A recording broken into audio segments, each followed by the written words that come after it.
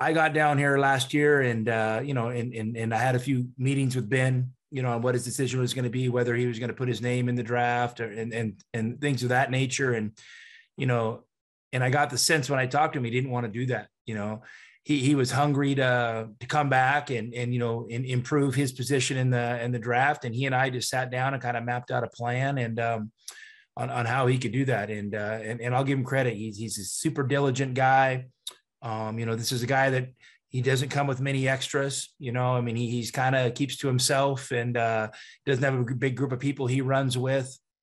And uh, you know, he really has immersed himself in the in the process of becoming a great basketball player. And um, he's he's a guy that you know we never had to set up extra workout times for or anything like that. He, he's a self starter and extremely motivated. And um, and you know, and, and I think his best days are ahead of him. You know, I really, I really still look at Ben as a young basketball player.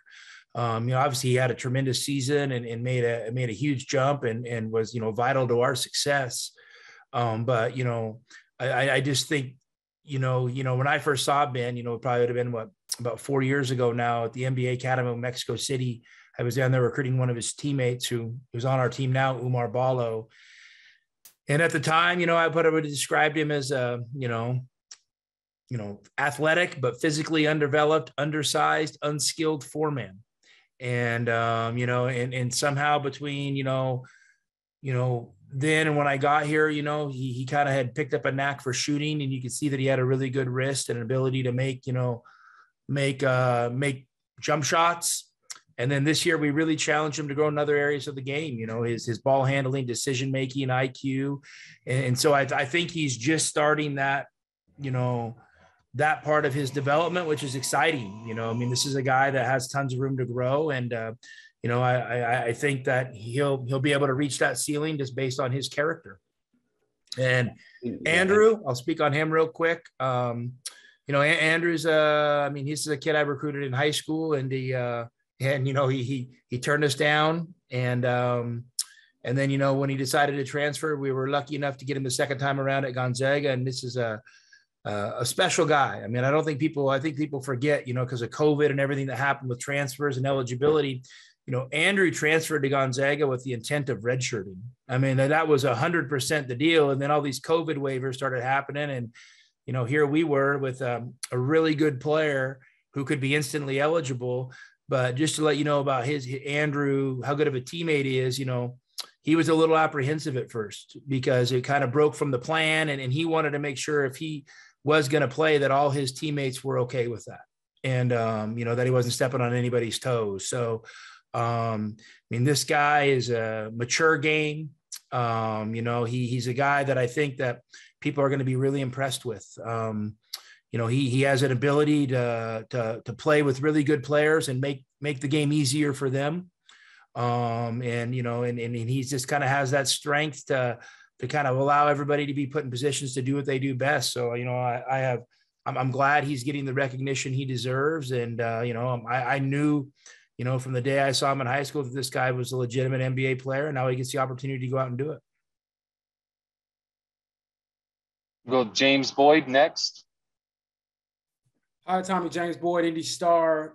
Um, they told us last night that Chad Buchanan, that is the Pacers GM, he said that Bennedict worked out twice for them. The first one was like the formal workout. The second one, he came back just voluntarily to do a workout with Rick Carlisle. Um, he said that was the first time he ever had that happen where a prospect worked out twice in one day, especially a prospect that high. So, what does that say about his character? And, and maybe do you have any stories about having to kick him out of the gym, maybe just to get some rest? Well, I mean, I don't think there's any doubt. You know, I mentioned that in my opening statement. I mean, it's a guy that that loves to work and he and he and he's driven. And you know, I, I don't think Ben's a guy, you know, at least from my experience, that was you know that was you know trying to load manage or do any of that stuff. He ain't try. He's not trying to protect anything. I mean, Ben's going for stuff, which I think is super important. I mean, he's in attack mode, and and uh, you know, I think you guys got a hungry guy. Um, you know, he's a guy that I'm pretty confident you know, once he gets there, he's not going to feel like he's arrived. I think he's going to feel like he has to continue to prove to, you know, to himself and to others that he belongs at that level. And, and I think that's the kind of hunger and desire you need. And, and, and I think Ben has that in spades. Go to Scott Agness next.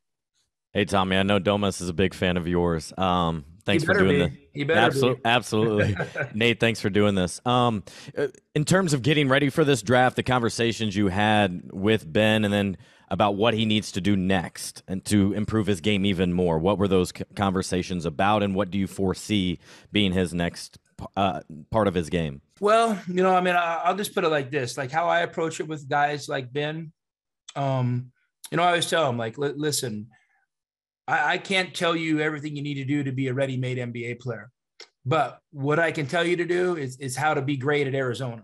And if you're great at Arizona, I mean, then you're going to get an opportunity to, to, to go into the NBA, hopefully as, you know, a high draft pick. And, um, and, and so, you know, I, I think that's going to be up for Ben and his coach to decide. You know, I think he's going to be an interesting guy. I mean, I think this is a guy that, you know, he, he really had emphasized and wanted to develop his ability to drive the basketball and handle the basketball this year and make decisions. So, you know, we really focused on that area.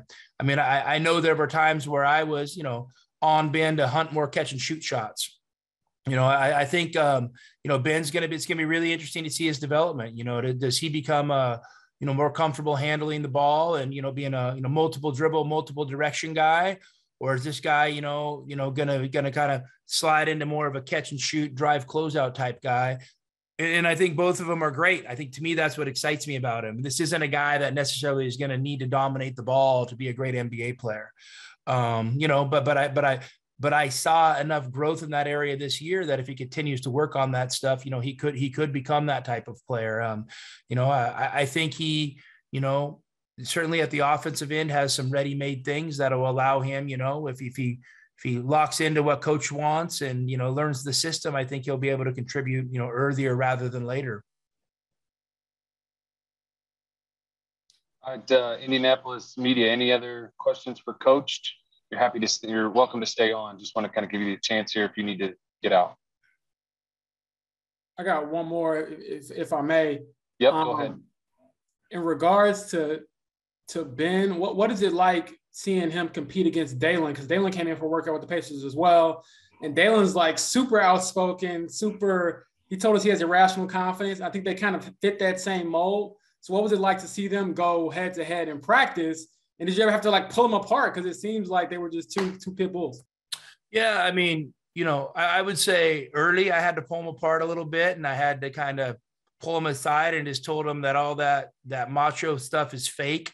Lock in on getting better, and, and you guys need to, you know, compete with each other, not compete against each other. And it's about getting reps and and, and growing and learning. Um, but but I, you know, you know, Day Dalen definitely has some juice and brings it every day. And you know, and and, and listen, and, and and Ben's not afraid of that. Like he definitely has that. He just, you know, I, I don't think Ben's gonna, you know, quite has as much, uh, you know, pizzazz or, or, or however you want to say it as Dalen, you know, comes across with. But um, but no, I mean, Ben, Ben, listen, I, I just know this. We had we had some tough moments early in the season, and even throughout the season. You know, you get in tough games. It happens and and Ben was great in those huddles. And not only, you know, sometimes guys say things in those huddles and they go out and they're they're not able to back it up. I mean, Ben, ben, you know, was was on the guys in the huddles, you know, was great, you know, was was focused about, you know, the task at hand. And then he went out and he made he made huge clutch plays. So um, you know, I think Ben definitely, you know, has that clutch gene and um, you know, with continued, you know, development, maybe maybe maybe that can become one of his calling cards go back to Scott Agness. Yeah, Tommy, I had a quick question at the draft combine. I was asking them about the interview process, and Rick was having them design a last play. And Ben was saying, Yeah, I drew it up for me. Uh, you know, speaking to his confidence and and all of that. Has that always been there the last couple of years, or is or is that part of his game and wanting it and, and willing to put himself on the line, or is that something he's added? Well, you know, I mean, I, I only had Ben for a year, and um, you know, I, I definitely know, you know, we called his number at, at tough moments, and you know, even you know, you know, not, not even into the game scenarios. Maybe, maybe you know, I remember in the UCLA game in the you know conference championship, you know, we called um, a couple actions for him to run off a baseline screen, and I mean, you know, I, I want to think it was great play design, but the way he rose up and stuck the jump shot, I think I'm gonna I'm going to err on the side. It was it was all him making a great play. So uh, you know, but that says something. I mean, those are things you know. You, you come out of a timeout and and you know that that that player knows you know that you know that that there's a good chance they're going to get a look and uh, to have the wherewithal to knock it down in those moments is uh, you know it, it, it's a huge deal for a young player. And um, you know that doesn't surprise me that he called his own number.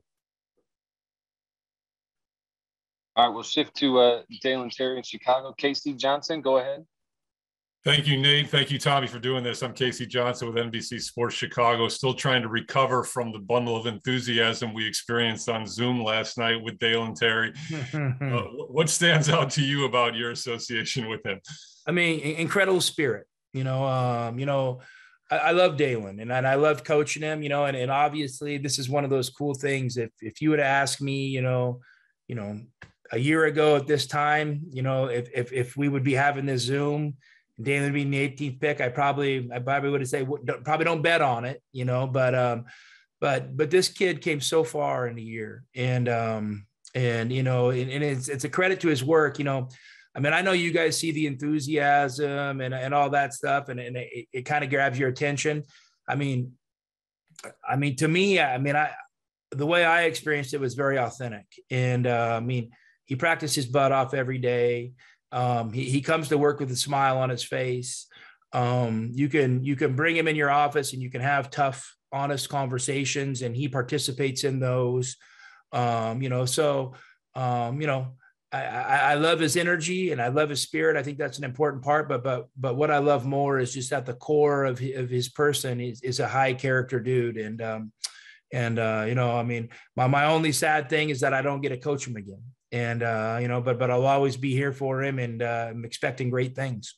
The only follow up I would have, Tommy, is you know there's so much attention's on you know his offensive game and where it needs to grow, and he obviously was a low usage player for you guys, but he also seems like kind of one of those connecting pieces that makes yeah. the players around him better. Would you agree with that? And 100 percent. You know, I mean, I I think you know sometimes usage is overvalued. You know, I, I don't think people you know outside of the coaching deal and maybe you know some analytic people really understand you know you know what what, what usage means. And uh, Dalen helps teams win basketball games. And and obviously his best days are ahead of him. And um and you know he he he did it this year without having to dominate the ball um, you know, doing it in, in a variety of ways. You know, I think he really, really grew as a player and understanding just how to play with fundamentals, to, to manipulate defense, to understand different spacing and coverage scenarios, um, you know, to, to start reading the game and being able to steal free baskets, you know, whether that's, you know, uh, mixing in a back cut here,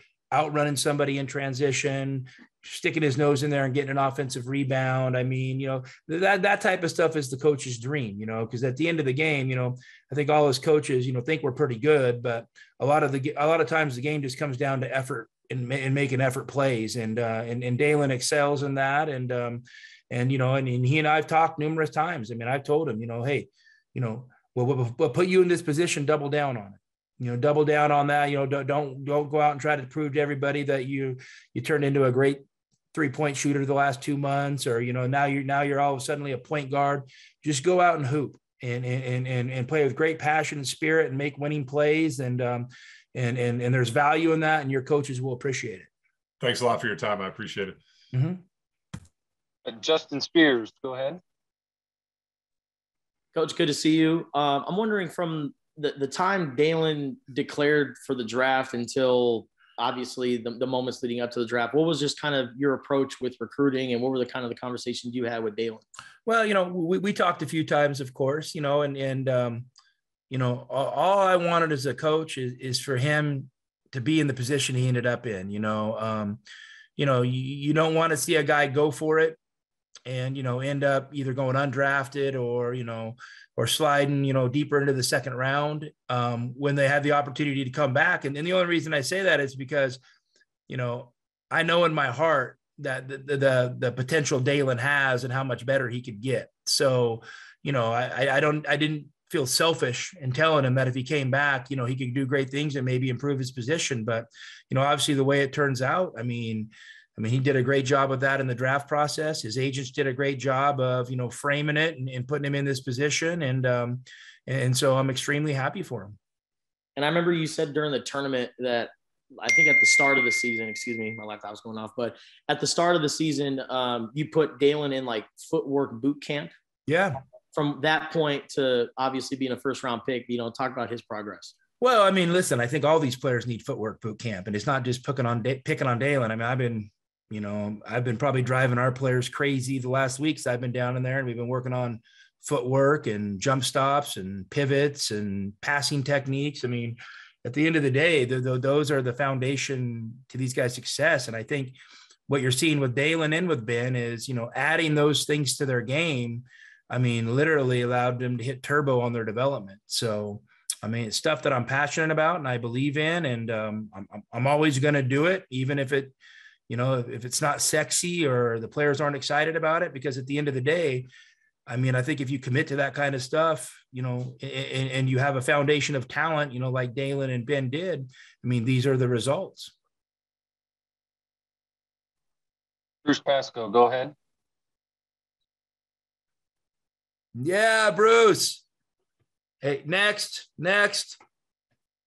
Bruce, we can't hear you. Sorry about that. Uh, oh my, Bruce, you, know, moment, so, you had your moment, and you choked it's been so long we've been on zoom fortunately that i forgot where the unmute button is or whatever um, anyway when you left lolo's last night um, christian didn't last much longer. I was wondering did you watch him or did you did you patch in and how did that go? Did you get to talk to him after that happened or? Yeah i mean i, I never got to talk to him but you know D- dalen's you know people were having fun and um, and i was so excited for them but you know i I mean, I love Christian, and and I and I kind of wanted to go have a moment by myself where I could go just, you know, watch his name get called, and you know, I I kind of had a good feeling that at 33 there was a good chance for him to get to get you know drafted. So I jumped in my car and drove up to the road to another restaurant in Scottsdale and walked in and just sat at a table by myself and no one noticed me and it was perfect. And I sat there and I watched his uh I watched his name get called and I was super proud. Do you have any sense uh, how he might fit with the Raptors? I don't know if they talked to you at all about him or, or uh, you know, what do you think about that? that yeah, I mean, I have some great relationships up there with those guys, and um, and you know, they're they're a team that's always put a premium on activity and length, and and you know, defensive prowess, and um, and you know, I think you know, Christian really fits their mold. You know, I, I mean, for me, I mean, I, I think Christian's a really impactful player. And, um, you know, I think if you get past the, you know, well, hey, is this guy going to be a superstar, or an all star? If you can get, get past all that and understand, you know, maybe not, but this guy really impacts the game and really impacts winning. And, you know, his versatility on defense and, you know, when, when you have somebody that could switch a ball screen to, to protect the rim like he does, to to run the floor and catch a lob above the rim, you know, at the square. I mean, to me, man, those, those are great traits. So, um, you know, I, I, I'm I'm sure if Christian stays locked in and works hard, that he's going to bring a lot of value, you know, uh, at that 33rd pick to Toronto, and hopefully in a few years, you know, people are shaking their head wondering how he slipped so far. And just uh, curious too, did you hook up? Did you get, get a chance to hook up with Ben out there? I know Murph was out there in New York, but I didn't. Yeah, no, no. Mur- Murph was out there in New York, and I think they had a great time. And you know, Ken Nakagawa on our staff was out there as well. And uh, you know, I, I just, you know, I've been texting with Ben all week and talked with him a few days ago. And you know, this is their time. You know, um, and and they they don't need me lurking or or um, you know harassing them. I I just text them all, happy for them, love them congrats, and uh, I'll, I'll catch up with them when things slow down a little bit for them. Cool. Thanks. Troy Hutchison, go ahead. Coach, when we were in section seven, you mentioned the poll that the NBA has in terms of high school kids and everything.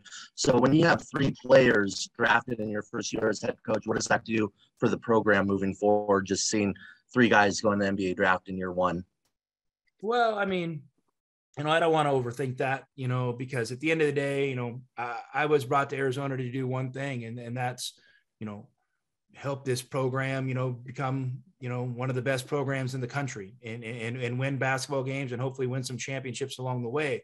So, so that's where my focus is. And, you know, but I also understand, you know, that, that, you know, recruiting plays a big part of this and, you know, as does player development. So I, I think it's just proof that, you know, you know, when we get on the court and we get to work, you know, good things happen. And um, you know, I think we're developing players the right way. And um, I mean, I, I I know we're loving them. I know we're having a ton of fun, and you know, hopefully, you know, we'll, you know, team success will continue and even grow more, and you know, and, and hopefully, we'll continue to have multiple guys get their names called uh, when the NBA draft comes around. To James Boyd with Indy Star. Yeah, just one more quick one. Um, Bennedict is pretty open about his background, the things he's been through, things he's overcome. His brother, he talked to him about his love of his mom and his sister last night. Um, how much do you think the adversity he had to face and betting on himself everywhere he went um, defines the confidence and, and, sort of the bravado that he brings to the court and to his life as well? Well, you know, I mean, I, I don't know if I would use confidence and bravado. I, I, think I would put it more in the category is conviction and uh, fuel to the fire. You know, I mean, I, I think as you guys get to know Ben, you know, he he's he's he's a great guy. He's not gregarious. He's not over the top. He's not trying to draw attention to himself. Um, but I think internally there's a fire that really burns in there. You know, and and and, and Chad Buchanan and I were talking about that last night. I think that's one of the things that really attracted them to Ben is that they they feel like there's an inferno burning inside that kid, and and, uh, and I would agree with that, you know, and uh, and hopefully he's able to continue to tap into that and and and harness that, and um, you know, I I think if he is, I mean, I, I think we could be looking at a really really good NBA player.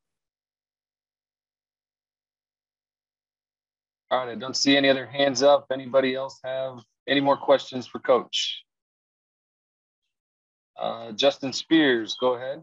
Yeah, Coach, I'm wondering, are you uh, familiar with any of the the head coaches, or like what kind of relationships do you have with the guys that um, your guys are going to, whether it's Rick Carlisle or, or Bill Donovan or some, something like that? Yeah, well, I mean, you know, I mean, I, I mean, I, I have you know met Billy Donovan a few times. I mean, he's really close with Coach Few, and um, I, I know obviously he's a great coach and and, and, and tremendously respected. And I, and I think he does right by his players. And, you know, Coach Carlisle and I have talked a few times and texted a few times during this process. And, uh, you know, I, I know this guy's a, a guru and uh, it's a guy that loves, loves getting in the weeds, lo- loves developing teams and, and players. So, you know, I, I think he and Ben will, will, will really hit it off, you know, really hit it off well. And then, you know, I, I know some of the guys in the front office in Toronto, um, you know, and, and just have always been impressed, you know, with with how, you know, you know they they they've built that program up there, and uh, you know it's been a very non-traditional approach, and even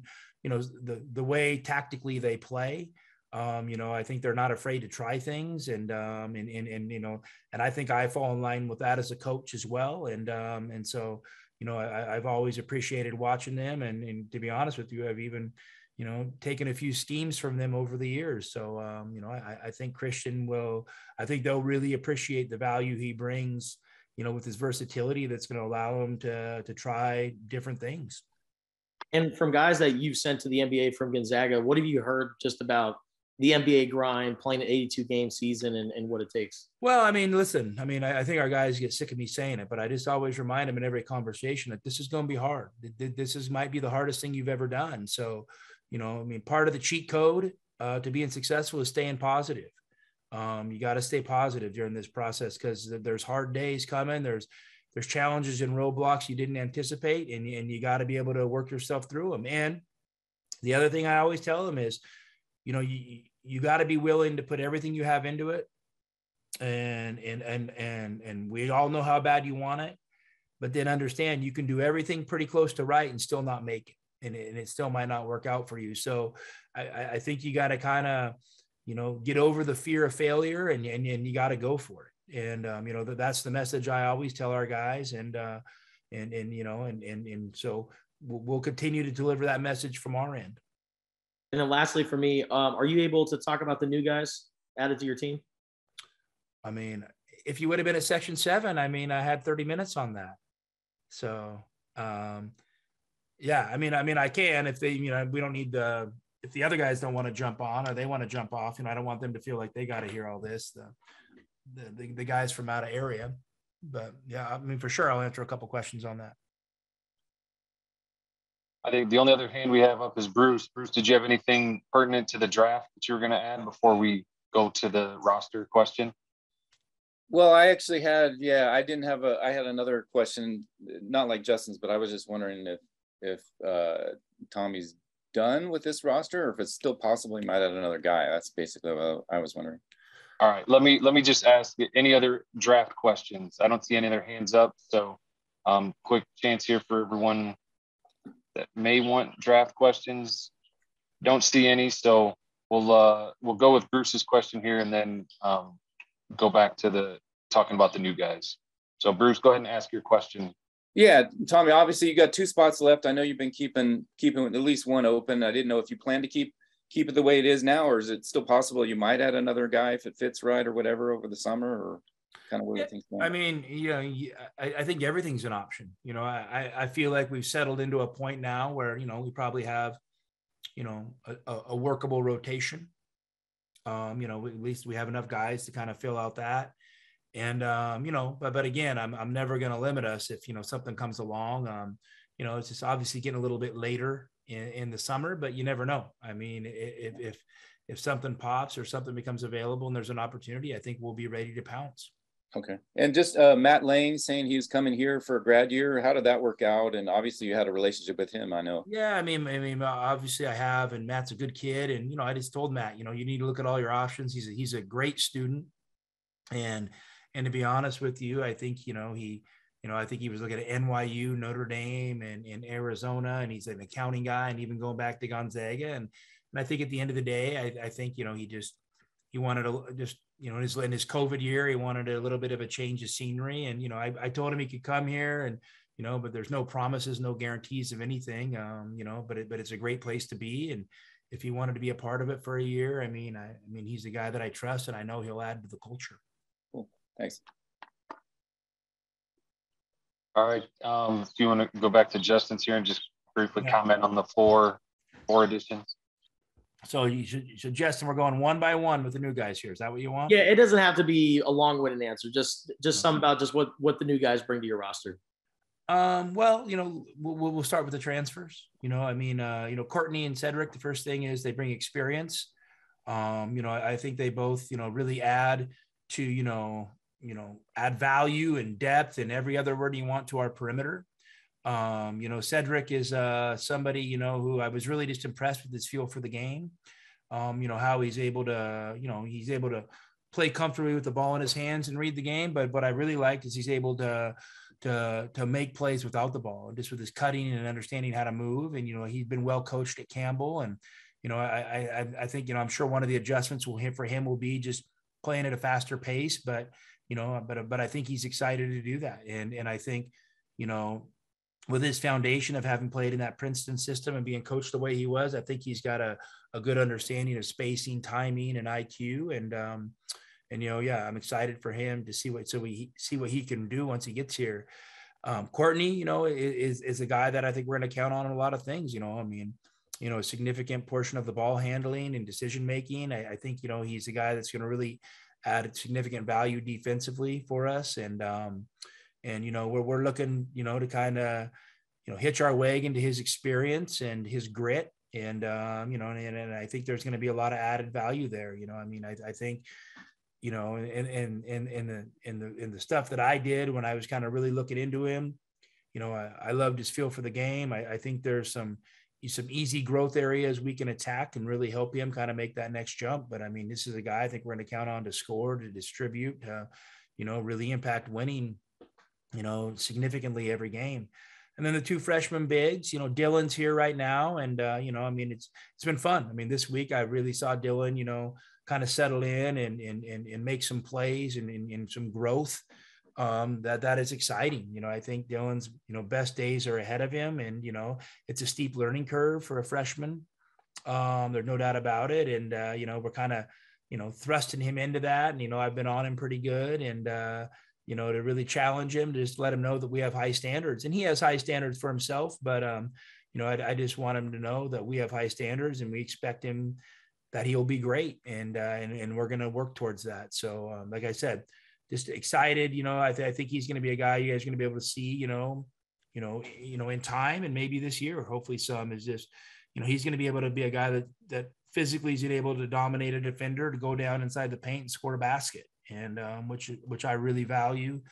And um, and then you know offensively, you know he he you know he he has a good wrist. You know, I mean, he, you know his, his shooting is going to be something that I think eventually will be a strength of his. Um, I'm just trying not to you know to to make that the main focus too early with him. You know, because I really want to kind of you know help him with his around the basket and understanding and, and pick and roll understanding and playing a situation like that and then Henri, you know, Henri's a talented kid too. You know, he's a you know European kid who's you know played in a you know a very prestigious youth program. Um, you know, he's getting some experience playing with older guys this summer.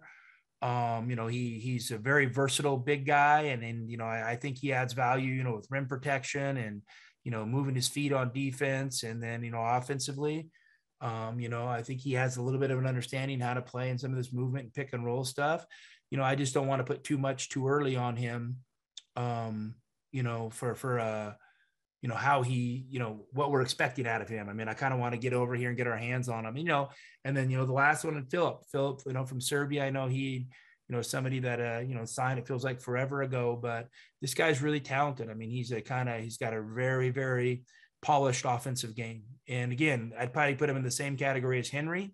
I mean, I think he's probably close to ready, but again, I don't want to you know put put too much too much of a burden on their shoulders till they get over here and we kind of you know get to work with them for a, an extended period to see where they're at just to kind of help them with their adjustment and then uh, what do you think is next for a guy like justin kier um you know i mean i'm sure justin you know i mean I, I was texting with him last night and today and his agent you know i'm sure they're looking for you know, whenever an NBA team they could jump on a mini camp with or get on a summer league roster. And, you know, th- those things aren't as easy to do as they once were, you know, I mean, so, so, you know, hopefully he'll be able to hook up there. And, you know, then I think, you know, I know, I know there, I already know because because a lot has been expressed to me. I mean, there's significant interest for him in the G League, you know, and, and I, and I think Justin is a guy that can really, really make an impact in Europe. Um, you know, he's, uh, you know, he's got, he's, he's got great energy. He's a fun person to be around and, uh, he's open-minded and and to me that's a huge key to being successful in Europe is just being able to go over there and and basically not live in the U.S. and and so I mean this is a guy that I think if he does eventually choose that route, you know, could be if he hangs with it and we could be looking up in a few years wondering, wow, I mean this guy's playing at a really really high level and doing really well in Europe, and and I definitely see that potential in him. Thanks, Tommy. All right, we'll wrap it up with Ryan Wool from the Daily Wildcat. Hey Tommy, um, the the three freshmen you just named, uh, do you have any sense? Uh, I know it's early and you haven't spent much time with them, but is there any sense like which out of them, if there's one that maybe will and see like a big uh, workload, you know, early on? I mean, no, no, no sense yet. Like I said, you know, with with, with most freshmen, you know, I want to be, you know, a, a, little bit cautious in my approach because, you know, I, I think you just got to get them here and you got to get them comfortable, and then then you can kind of make the decision that's best for them. And I, I would say this, I mean, I definitely think we need contribution from them this year for, for us to maximize our, you know, you know, kind of, kind of what we're doing as a team. But um, but I'm but I'm gonna kind of hold off on any prognostications till they get over here because you know the the the worst thing you can do as a coach in my position is you know overhype them put a ton of stuff on their shoulders they come here they struggle they lose confidence and now you got to dig them out of that hole so, you know, I'm trying to do the best I can to protect them from that. Thank you. All right, that's it. Thank you, Coach, for your time. We appreciate it. Yep. Have a great day, guys.